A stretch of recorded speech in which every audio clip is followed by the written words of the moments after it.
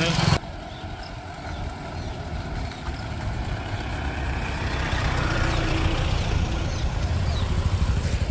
hola.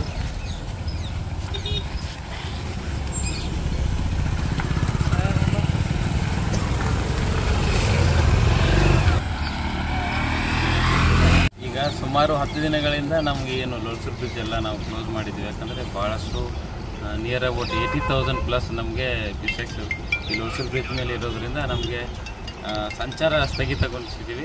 So ಈಗಾಗಲೇ ತಮಗೆ ಗೊತ್ತಿರೋ ಹಾಗೆ ನೀರಿನ ಮಟ್ಟ ಕಡಿಮೆ ಆಗಿದೆ. ನಾಲ್ಕು ದಿನದಿಂದ ಐವತ್ತು ಸಾವಿರ ಕ್ಯೂಸೆಕ್ಸ್ ಮಾತ್ರ ಬರ್ತಾ ಇರೋದು. ಸೊ ಮತ್ತು ಘಟಪ್ರಭಾ ಬೇಸಿನಲ್ಲಿ ಸ್ವಲ್ಪ ಮಳೆ ಕಡಿಮೆ ಆಗಿದೆ. ರೆಡ್ ಅಲರ್ಟ್ ಇಲ್ಲ.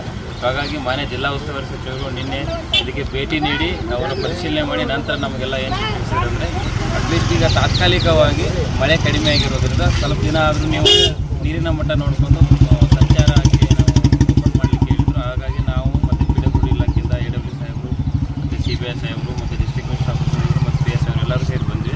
ನೋಡಿದಾಗ ಏನಾಗುತ್ತೆ ಅಂದರೆ ನಾವು ತಾತ್ಕಾಲಿಕವಾಗಿ ಓಪನ್ ಮಾಡಲಿಕ್ಕೆ ಎಲ್ಲರೂ ಸೇರಿ ನಿರ್ಧಾರ ಮಾಡ್ತೀವಿ.